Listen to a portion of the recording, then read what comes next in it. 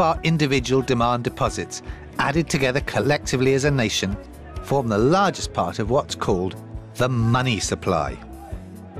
Let's begin by looking at some figures. In 2008, there was just over 57 billion rands worth of coin and banknotes in circulation. Physical cash money in hand around South Africa. Total demand deposits, money stored in current bank accounts, stood at 677 billion rand, about 12 times the amount of the cash in circulation. Cash and demand deposits added together form what is called M1 money, which totalled over 734 billion rand.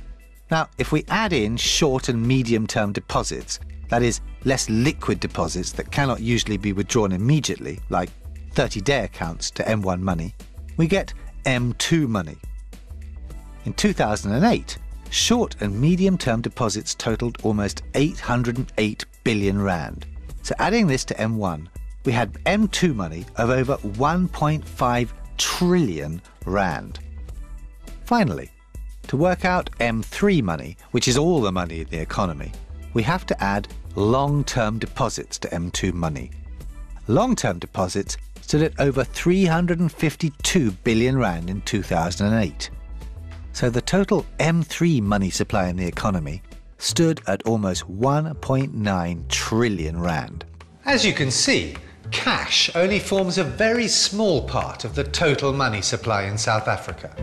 Thinking back to what money actually does, which of these parts of the money supply, M1, M2 or M3, do you think relates most to the store of value function of money?